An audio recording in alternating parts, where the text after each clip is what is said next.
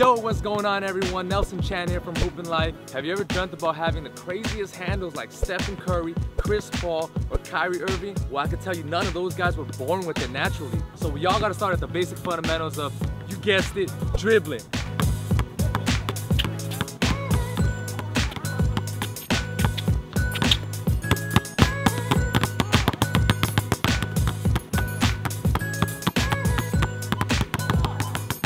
Today we're here to show you the basic fundamentals of dribbling and show you how to improve your ball handling skills. And to assist me with my workouts today, I have my fellow hooper friend here, Edward Toe.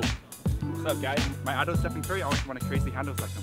Yo, that's perfect, man. That's why you're here today to work on your game so you can be better than Stephen Yeah, Curry. sure. Yeah, let's do it. So this is the first edition of how to improve your dribbling skills, aka your handles. Beginner's level.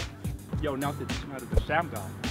No, man. First, you gotta start off with the basic fundamentals. So first off, to get comfortable with dribbling the ball, you're gonna start off with stationary dribbles. So this workout's pretty simple. We're just gonna get in a stance and we're just gonna do stationary dribbles. The key is to do 50 times each hand. So I'm gonna start off with my right hand, do it 50 times, switch over to my left hand.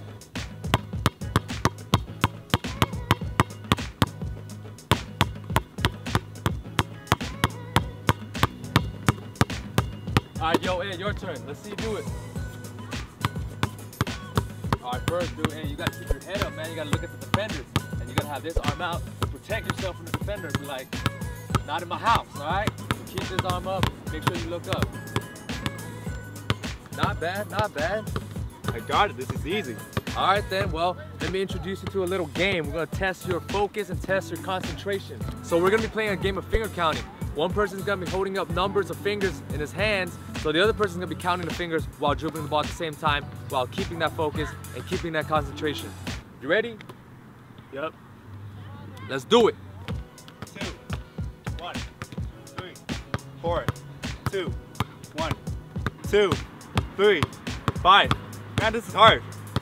Eight, two, six. All right, cool, man. Good job. On to the next workout. Let's go.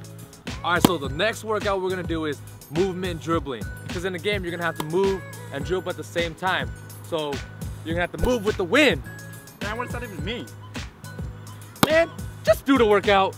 So what Edward's gonna do is he's gonna dribble the ball and walk up the half court line. So first off, he's gonna have a high dribble, and when it, once he gets to the free throw line, he's gonna get down and do a low dribble.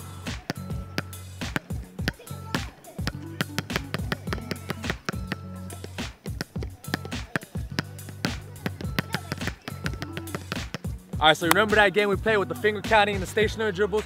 We can apply the same game to this workout as well. Seven, two, three, wrong, six, four, two, four, six, four, six, two, three. Come on, count Hey. faster. Too fast. It's too bad, count faster. All right, guys, some of the key points in the dribbling drills is build a foundation of building muscle memory. Keep your head up at all times. The game is above you. The action is in front of you, behind you, all around you. It's not looking down at the floor while dribbling. The third one is keep your off arm up to protect yourself from defenders. Dribbling is all muscle memory, so you're gonna need a lot, a lot, a lot, a lot of practice and repetition. Some people say shooting is the most important thing in the game.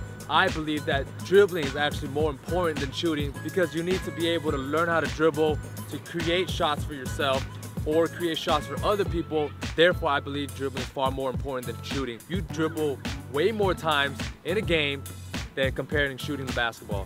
Thank you guys for watching the video. If you guys liked it, enjoyed it, make sure you give it a thumbs up, subscribe down below. Leave in the comments what kind of workouts you guys want to see from me. Shout out to Edward Toe for coming out and helping me with the workout. And until next time, we out. Peace.